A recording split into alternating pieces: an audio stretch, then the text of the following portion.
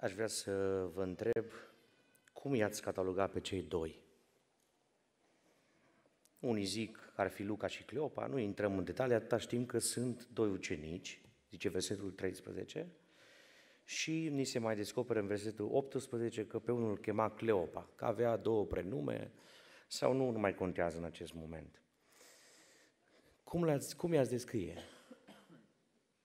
Oare ar putea să fie membri într-o biserică baptistă, pentecostală, evanghelică? Oare ar putea să fie membri în biserica Betania?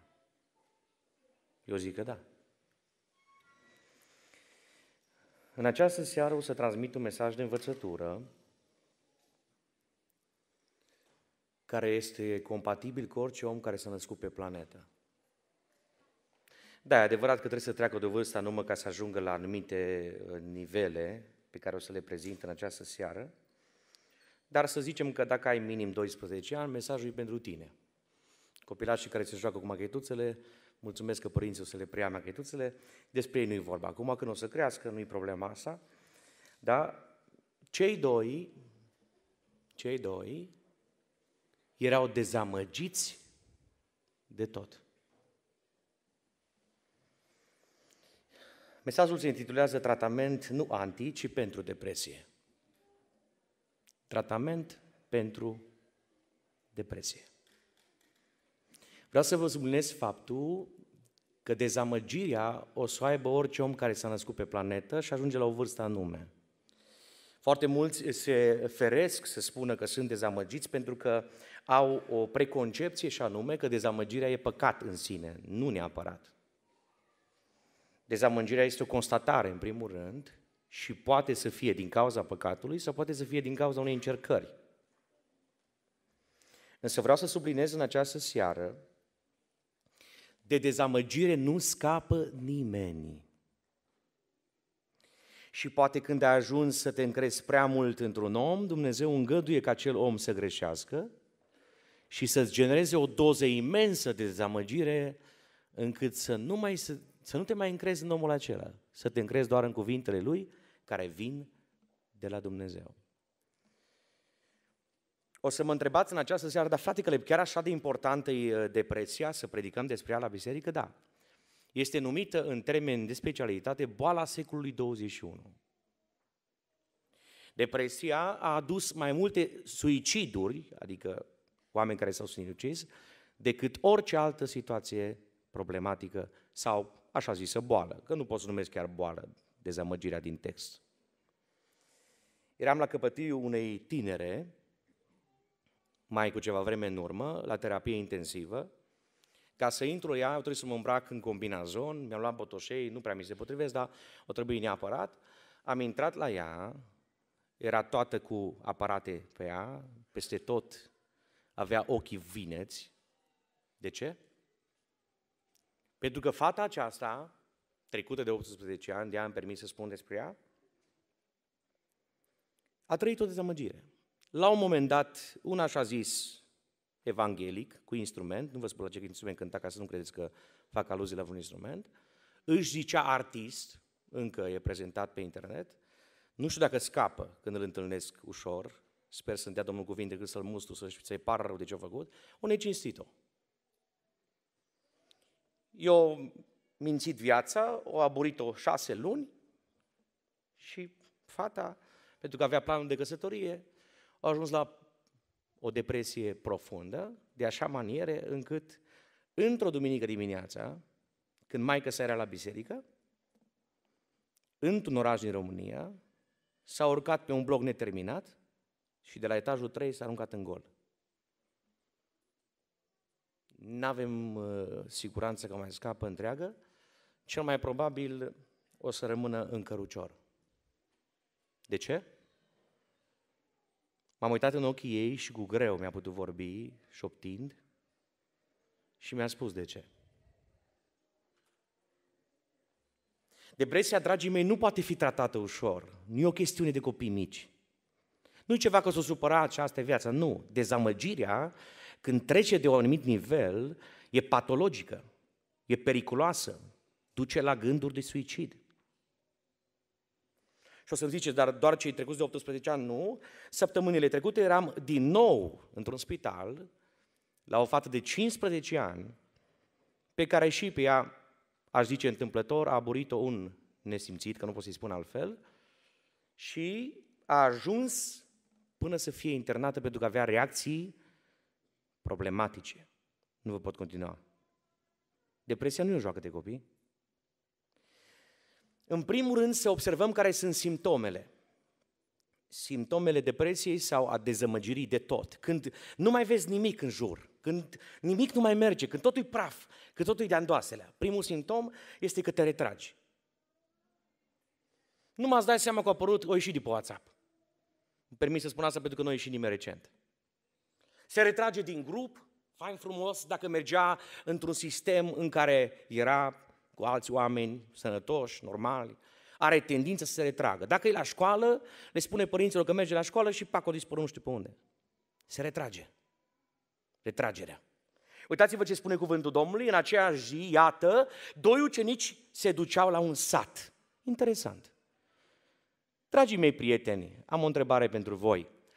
De ce nu v-ați dus la Maria, care l-a văzut pe Hristos în carne și oase înviat? De ce vă retrageți într-o zonă periculoasă? De ce nu vă duceți la oamenii care au văzut dovezile învierii și a faptul că mormântul e gol, piatra e dată la o parte, fâșiile de punză puse deoparte, sul, cum se spunea de dimineață, ștergarul cu care a încins capul Mântuitorului? De ce nu vorbiți cu Petru?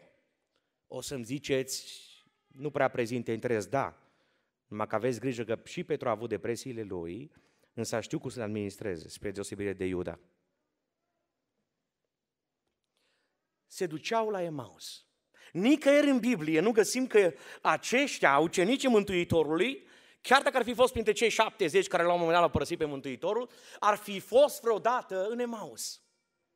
N-avem dovezi că Iisus Hristos a intrat vreodată în localitatea aceasta. Prin asta îmi permit să exprim faptul că Emausul e satul amintirilor celor doi. E locația unde vor să uite de tot. Nu mai vor să vadă oameni. Se retrag. Tu ce faci, Ilie, când intri într-o descurajare puternică, accentuată? Păi, Izabela mi-a zis să mă pedesească zei cu toată asprima. Care zei? Păi ăștia nici măcar nu există. Stai un pic, tu nu crezi în Dumnezeu? În Iacve? Ce, ce, ce Dumnezeu te pot pedepsi pe tine? Sfântul Ilie, prorocul, care s-a rugat și după ce s-a rugat, el a coborât foc din cer Dumnezeu pe jerfă, a mistuit jerfa, a mistuit acel jung și efectiv apa a fost efectiv dată la o parte. Nimic n-a mai fost. Ilie, ce se întâmplă cu tine? Păi Ilie ne spune foarte clar, 1 Împărați, capitolul 19, ascultați ce spune cuvântul Domnului, Ilie simte nevoia să se retragă. Zice Biblia, după ce transmite informația aceasta, această femeie care nu avea nimic cu Dumnezeu, nici măcar cu bunul simț, dar nu intrăm în detalii, versetul 3, Ilie când a văzut lucrul acesta, în împărat 19 cu 3, s-a sculat și a plecat. Unde pleci? Păi mă duc la o seară de rugăciune. Uh-huh. Mă duc să mai aud o predică. Nu, nu, nu, nu, stați un pic. Vreau să-mi scap singur viața. Când intri în depresie, ai senzația că tu trebuie să-ți scapi viața. A ajuns la Berșeba, care ține de Iuda, uitați-vă cum se retrage și cât de tare se debarasează de toți oamenii și a lăsat slujitorul acolo. De ce nu mergi măcar cu el, prietene? Hai mă, omule, spune-mi, te rog frumos, de ce nu mergi cu slujitorul tău ăsta? Nu, ți-a făcut ceva? Ți-a greșit vreodată? Nu întotdeauna când zicea adu apa era lângă tine? De ce îl părăsești? De ce te debarasezi inclusiv de omul cel mai de încredere al vieții tale? De ce? Asta e depresia. Se retrage, zice Biblia. El, versetul 4, s-a dus în pustiu. Unde a călătorit timp de o zi singur. Depresie înseamnă singurătate. Cei doi mergeau singuri. Și vedeți, când, când ești singur, gândești că toți sunt singuri. Ce zice despre Isus? Tu ești singurul străin? Da? Pentru că întotdeauna gândești numai cu mintea ta, nu poți gândi cu altă minte. Da? A șezut sub un ienupăr și dorea să moară zicând. Nu te înțeleg, omule, tu ai mers și le-ai tăiat beregata la toți prorocii falși al lui Bal și Asartei. Ai avut capacitatea să te ridici în picioare și să strigi cu voce tare, Domnul este adevăratul Dumnezeu. Și poporul Domnului din Betania zice amin. Așa scrie și aici. Domnul este adevăratul Dumnezeu, amin. Slăvit să fie numele Domnului. Și acum, tu zici destul? Ai grijă că atunci când intri în descurajare, începi să zici destul înainte să zică Domnul. Când intri în dezamăgire, începi să te compari cu oamenii. Acum, Doamne, hopa, vrei să mori?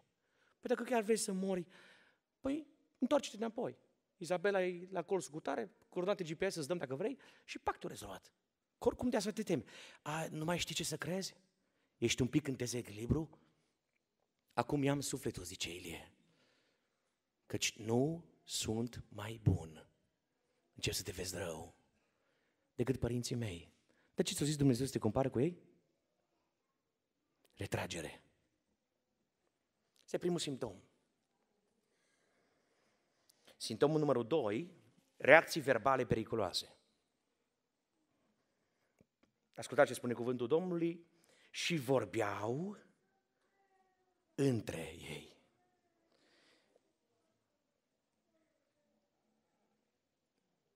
Așa vorbeau încât n-ar fi vrut să audă nimeni. O vorbire între. Când ești dezamăgit, o să cauți dezamăgiți dacă nu ești atentă, atent. Când ești nemulțumit de o situație, o să cauți oameni nemulțumiți, o să-i cauți, așa îi găsești de ușor, plină lume de nemulțumiți. Și o să te unești cu ei și o să vorbiți doar voi. Și iar o să vorbiți. Și atât de mult o să vorbiți încât o să vorbiți despre tot. Vorbiți despre orice. Dar peste tot ce vorbiți voi există un negativism imens, înfiorător. Ascultați cât de negativ gândesc ei.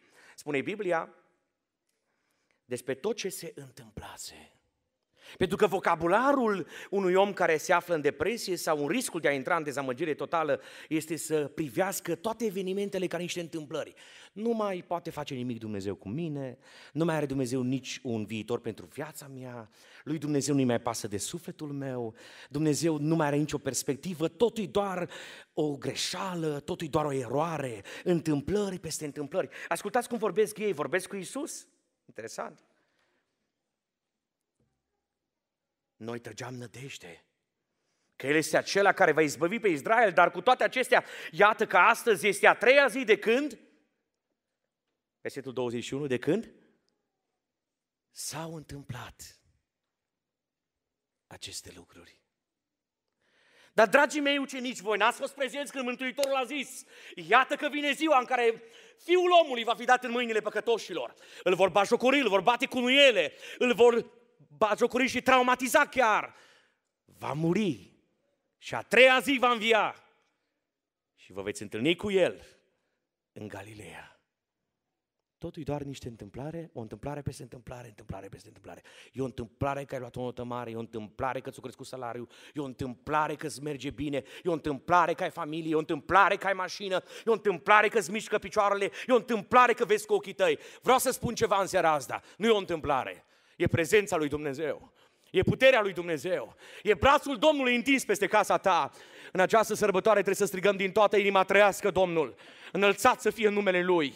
Nu e o întâmplare viața noastră, nu e un vis, nu e un azar, nu e ceva haotic, nu e un ghinion sau un noroc când se întâmplă ceva negativ sau ceva bun. E binecuvântarea lui Dumnezeu peste casele noastre. Cine crede din Britania că Domnul este cu el și poate să-L binecuvinteze chiar în dezamăgire să zică amin.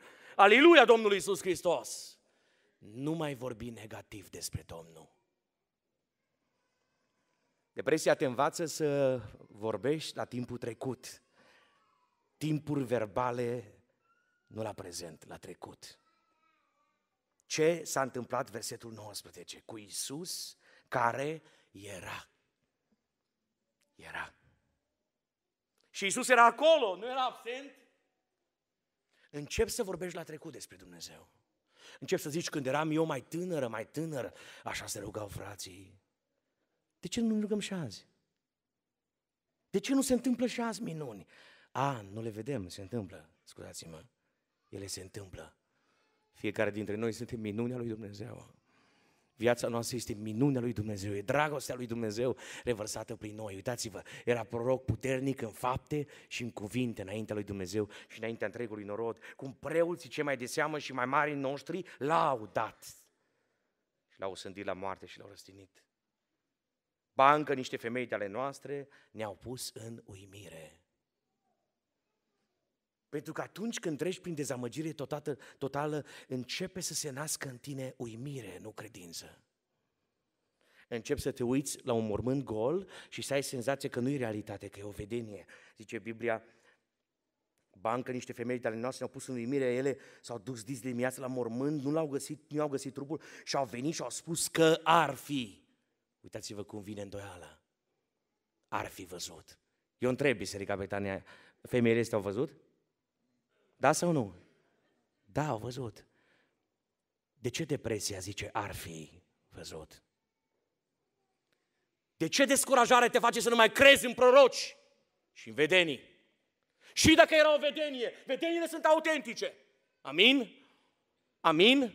Lăudați să fie numele Domnului. Aproape săptămânal primesc un mesaj în care un proroc sau o prorociță îmi trimite un mesaj și zice așa mi-a vorbit Domnul despre tine, așa am visat cu tine, frate. Eram în Perth, în Australia, ultima dată, și o femeie a fost trezită în județul Cara Severin, în mijlocul nopții pe la două dimineața și a zis, intră pe canalul Biserica Perth și ascultă predicatorul care e acolo, pentru că trebuie să-ți transmit un mesaj profetic, autentic despre el și despre casa lui. M-a căutat pe internet și mi-a scris un mesaj pe WhatsApp. Vreau să spun ceva, oriunde ai fi pe mapamond, Dumnezeu există. Dumnezeu e în controlul Universului. Dumnezeu e tare, Dumnezeu e măreț.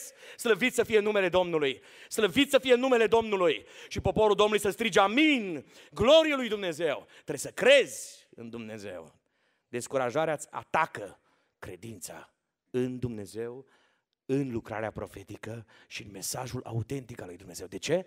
Pentru că satana vrea să staie toate ancorele credinței. Vrea să te izoleze reacții verbale periculoase. Versetul 24 spune, unii din cei ce erau cu noi erau, s-au dus la mormânt și au găsit așa cum le spuseseră femeile, dar pe el nu l-au văzut. Depresia, spune Iisus, nu e viu. Iisus e o poveste pentecostală, evanghelică creștină. Creștinismul a inventat o poveste. A regizat un sistem să năucească minți. Când nu-L mai vezi pe Iisus, să nu uiți. El ți-a deschis ploapele azi dimineață. El ți-a pus pâine pe masă și mâncare. E cineva aici care n-a mâncat bine azi? Să ridice o mână sus. Toți am mâncat. Și tot ce avem e datorită Domnului Iisus Hristos. Indiferent prin ce treci, să nu uiți. Domnul e pe tronul Universului.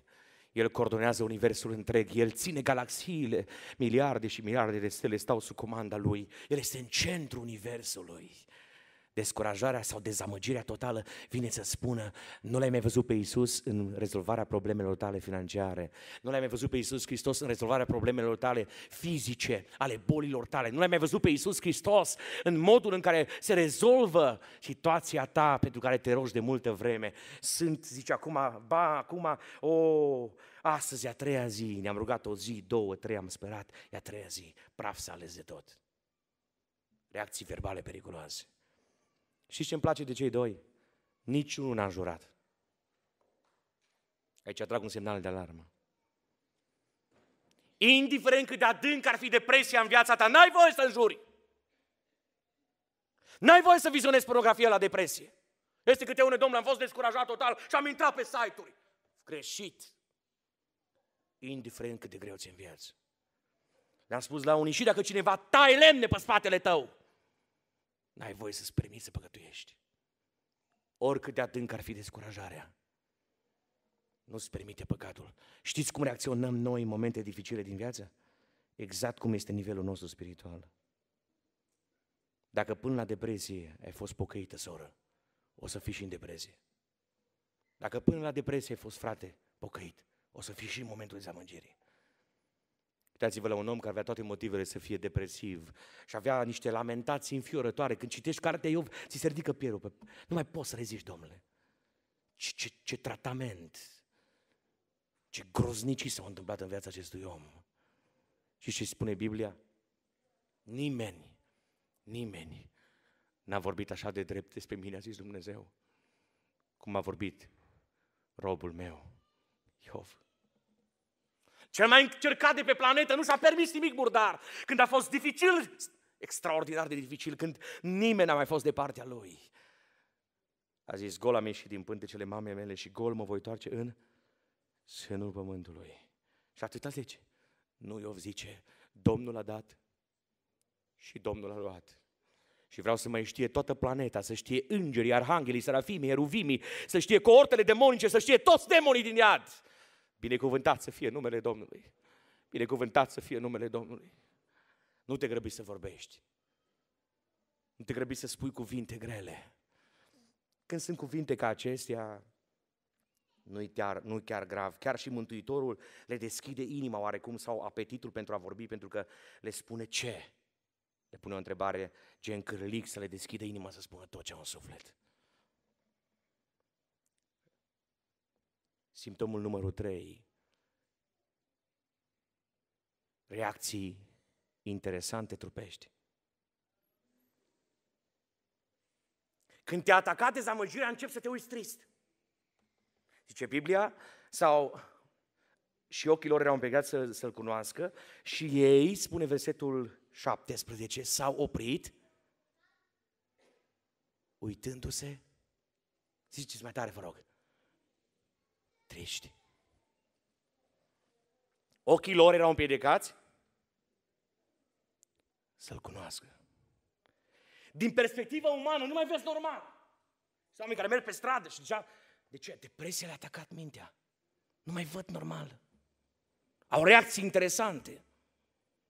Ating instrumente nepotrivite, ca să nu le numesc altfel. De ce?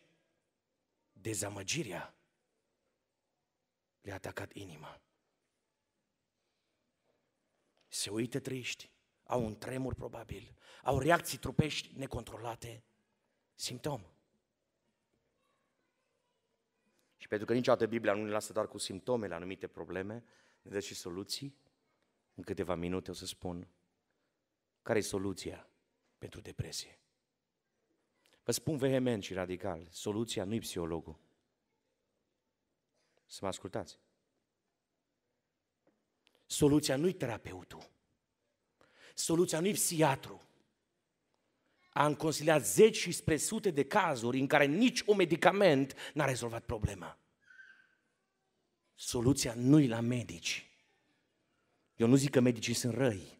Într-un anumit nivel pot să rezolve o parte din problemă. Dar soluția este Isus. Este Isus. Este Isus, înălțat să fie numele Lui recunoaște starea. Ascultați ce se întâmplă. În momentul în care ei merg în fața lui Isus Hristos, îl consideră un străin și acum, dacă am privit din perspectivă detașată, am fi zis, mă, cum de ăștia și-au deschis inima la un străin? Da, cine e depresiv are tendința să se orienteze spre oameni care nu-L cunosc și să le spună lor problema. Aici trag un semnal de alarmă, nu vorbiți cu oricine când treceți printr-o dezamăgire. Aveți senzația că spunând la mai multe persoane vă descărcați sufletul și vi se ușurează, vi se încarcă.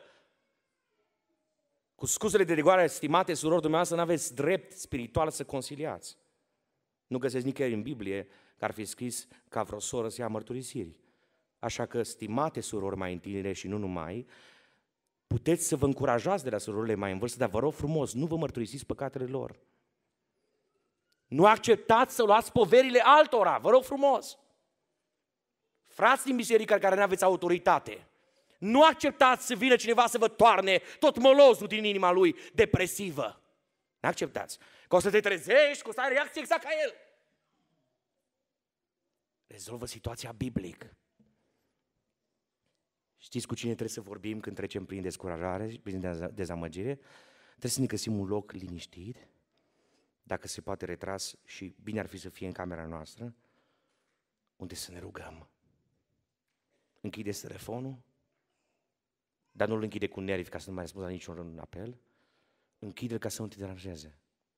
Retrage-te din zona oamenilor care vorbesc. În jurul tău să vorbească o grămadă. Oamenii unii vorbesc, mai să vorbească, alții se bucură că ești depresiv, alții se bucură că ești dezamăgit, alții ă, tot trag cu cârligul din tine să vadă și ei au dramele lor, au și ele dramele lor și vor să mai vadă și pe alții. Se bucură, se bucură că nu sunt singur pe planetă cu problema asta.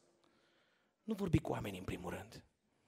Du-te și vorbește cu Domnul Isus.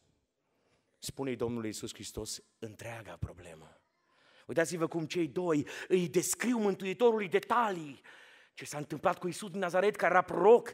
A, voi recunoașteți încă că el era proroc? Da, noi credem asta încă. Puternic, nu-i slab, nu-i puternic. În fapte, nu numai în cuvinte, și în fapte, domnule, înaintea lui Dumnezeu și înaintea întregului norod.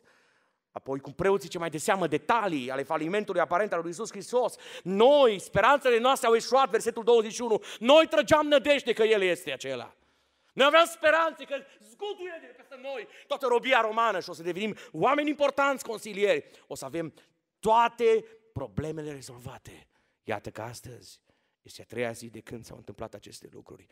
Noi nu prea putem pricepe exact, dragii mei, ce, ce au simțit ăștia doi. Pentru că nici unia dintre noi ne-a murit un om așa de bun ca Isus, apropiat. Nici unuia. O dramă imensă, fără anunț prealabil, fără boală, fără să fi stat la căpătâiul lui. Dintr-o dată moare, domnule, dispare. Au luat de pe cruce și toți au fugit, fricoși. Se temeau că vor fi următorii răstigniți. O dramă adâncă, dusă la extreme. Ba încă, și uitați-vă cum Iisus îi lasă să vorbească. Vorbește cu Iisus, o să te lase să vorbești.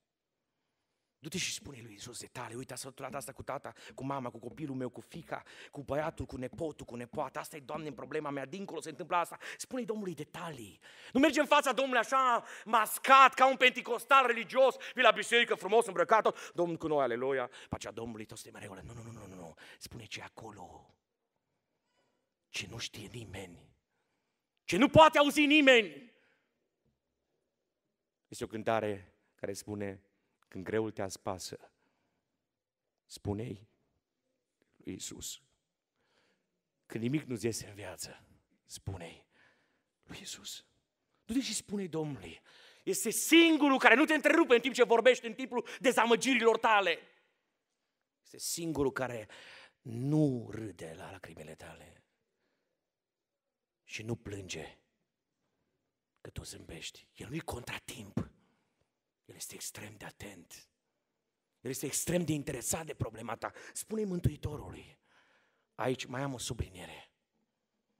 După ce ai spus tot Domnului Isus Hristos și încă te apasă pe ceafă, așa ca o presiune pe minte, pe creier, pe suflet, ca o povară adâncă, caută un pastor, un prezbiter, în prezența căruia să spui tot Domnului Isus problema ta. Eram undeva într-o altă țară în diaspora română un bărbat de 56 de ani. M-a luat de la aeroport, m-a dus în biserică și apoi, înainte nu eram cazat și apoi la biserică. Pe drum înspre biserică mi-a zis Duhul Sfânt, vezi că bărbatul ăsta are o problemă de când era minor, sub 18 ani și trebuie să descarce povara asta. De obicei, când uh, iau o mărturisire de la cineva care nu-i Biserica Betania, întotdeauna îi pun întrebarea dacă nu ar vrea să discute cu pastorul local, așa cred că e cel mai bine. Dar în cazuri excepționale, ca și cazul ăsta, am acceptat. Era venit cu băiatul lui, nu știu câți ani avea, vreo 5 ani, și băiatul întins pe bancheta din spate, a tras un pui de somn. Și mi-a zis, domnul, vezi cum i-am dat somn la ăsta, la băiețel, ca să poată vorbi el. Am călătorit peste două ore. Ca să mă simt mulțumit în sufletul meu că mi-am făcut datorie, i-am pus o întrebare. Aveți dumneavoastră ceva pe suflet dacă vreți să spuneți înaintea Domnului? Că uitați-vă că băiețul doarme bine. S-a eschivat un pic, mi-a dat seama care și apoi a schimbat repede subiectul. A trecut vineri seara, am fost la biserică, sâmbătă dimineața am avut o slujire, era cu corul acolo și am slujit ceva despre cântare. Duminică dimineața în biserica locală, duminică seara la fel. La final de program a sărit de pe ultimul rând bărbatul ăsta și a venit la pastor și a zis, pastore, pe fratele Caleb, eu îl duc la aeroport mâine. Am știut de ce. Nu am zis nimic. A venit, m-a luat cu mașina Și a tot întins momentul în care trebuia să-mi spună, în ultimele 20 de minute, avea 56 de ani, mi-a mărturisit un păcat pe care l-a comis la 16 ani. Păcatul ăsta ros în lui 40 de ani. 40 de ani a fost afectat. Dumnezeu strângea șurubul în viața lui, strângea șurubul, strângea șurubul, avea cancer la trei organe. Operații imposibile din perspectivă medicală. Și Dumnezeu strângea șurubul. Am ieșit din mașină, mi-am luat bagajele, s-a uitat în ochii mei și mi-a zis, simt că zbor, frate Caleb. De ce? 40 de ani satana l-a urmărit. 40 de ani a fost cu ochii pe el. Pentru păcat comis la 16 ani. Recunoașteți starea Dacă o să zici, nu, n-am nicio problemă, eu nu eu n-am nicio problemă în domeniu, o să vină din când în când din nou dezamăgirea peste tine. Și s-ar prea putea dezamăgirea aia să aibă un link, să aibă o legătură în viața ta, în trecutul tău. Rezolvă-ți problema asta. Recunoaște-ți starea. Cei doi au recunoscut ce se află în sufletul lor. Au recunoscut detaliat tot ce e în sufletul lor. Doi, soluție, nu te răzbuna. Să nu crezi că îți rezolvi depresia, descurajarea răzbunându-te. Reacția umană, când cineva are o problemă personală, este să caute vinovați. Se uită peste tot. Se uită, se uită, se uită în jur și caută vinovați. Și când găsește pe cineva care crede că ar fi vinovatul sau față de care răzbunându-se și-ar ușura un pic povara lui depresivă sau dezamăgitoare, zice, gata, o să mă răzbun și a scăpat. Nu se rezolvă problema. Eu am un cuvânt pe care îl spun, un rău nu poate fi rezolvat printr-un alt rău. Când pentru rău care ți s-a făcut ție, o, o faptă greșită care a fost derulată în dreptul ființei tale, dacă tu faci o altă faptă rea, întrebare, după ce ai făcut fapta rea tu, e mai mult sau mai puțin rău pe planetă? Mai mult sau mai puțin, ziceți? Păi mai mult. Nu, nu, nu, nu, nu, nu. Nu te răzbuna. Răzbunarea arma diavolului nu altuia. Uitați-vă cum în al treilea rând soluția este restabilește relația ta cu disciplinele spirituale. Te uiți în jur și vezi doar dezamăgire, te uiți sus, în față, stânga, dreapta, în spate, jos, doar dezamăgire, ascultă-mă, nu renunța la rugăciune. Satana o să zică, toți sunt niște falși, nu mai asculta cum se roagă, nu te mai ruga, nu mai crede în rugăciune. Am să spun ceva, rugăciunea, inclusiv în mijlocul dezamăgirilor, face minuni. Amin? Amin? Știți că atunci când s-a rugat Ilie și a zis destul, acum nu mai sunt mai bun decât părinții mei, i-am sufletul pentru că nu mai vreau viață. Asta știți că e o rugăciune? Dacă vorbea cu alții. Rugăciunea n-a fost bună dar a fost rugăciune. Respectă disciplina rugăciunii, respectă disciplina cuvântului citit, citat și meditat asupra lui. La nivelul minții tale, din cauza unei depresii, vine un atac demonic, spre exemplu, de frică, de panică, de anxietate. Vrei să faci ceva în jurul tău? Ia cuvântul lui Dumnezeu. Ia cuvântul lui Dumnezeu. Cuvântul ăsta are forțe liberatoare. Ascultați ce face Domnul Isus Hristos, spune Biblia, și a început de la Moise, versetul 27, și de la toți prorocii și le-a tâlcuit în toate scripturile tot ce era cu privire la el. Nu te îndepărta de Biblie, nu renunța la Scriptură. Uitați-vă că e foarte important, nu renunța la post. Estera, într-un moment în care toată națiunea ebraică trebuie să fie rasă de pe hartă, trebuie să moară toți. Se adună cu slujnicele ei. Ea este evreică, prințesă. Avea toate motivele să stea în loja ei de prințesă, de regină, să spună, lăsați să moară ăștia, praf și pulbere în jurul meu, nu mă interesează. Intră în post împreună cu Mardoheu și zice, să facă Dumnezeu o minune. Știți că postul face minuni și azi? Știți că Dumnezeu are putere, aleluia lui Dumnezeu. Că nu mai poate nici rugăciunea, că nu mai poate vorba mamei, că nu mai poate intervenția tatălui, că nu mai poate nimeni în jurul tău, că nici măcar cuvântul parcă nu mai are efect, parcă doar, că întotdeauna are efect. Să știți că postul face minuni, schimbă legi, schimbă vieți, cum se spunea, deschide ochi, inimi, suflete, minți. Lăudați să fie numele Domnului. Lăudați să fie numele Domnului. Un lucru mai spun. Știți când și-au revenit de tot? Când s-au reîntors la ucenici. Satana o să zică, vină la biserică mai rar. Retrage-te! Nu vezi că ăștia nu te bagă în seamă, unii dintre ei nu le pasă de tine. Îți, îți agață în creierul tău un cui inventat și pe bază la cuiul ăla spune, tot spune, spune în cuier, spune, spune, spune, spune și toată nimica nu e mai bun. Și diavolul zice, ok, lasă-te de biserică, că oricum nu te ajută cu nimic. Că știe că dacă te lași de biserică, ești prada ușoară a leilor, a gândurilor suicidale chiar. Și ce au făcut cei doi? Spune Biblia în ceasul acela din noapte. Ce au făcut? Au zis, se prea obosit să mergem acum la închinare, mă, hai serios. Unde să mergem? Petru la repădatul, lipsește Iuda, domnule. Nu. Nici măcar avem dovezi că va fi Isus prezent acolo. S-a sculat în ceasul acela din noapte. S-au întors în Ierusalim. Și au găsit pe cei 11 și pe cei ce erau cu ei la un loc adunați. Și ascultați ce zice Biblia mai departe. Și zicând, a înviat Domnul cu adevărat și s-a arătat lui Simon. Aliluia lui Dumnezeu. Tratament pentru depresie.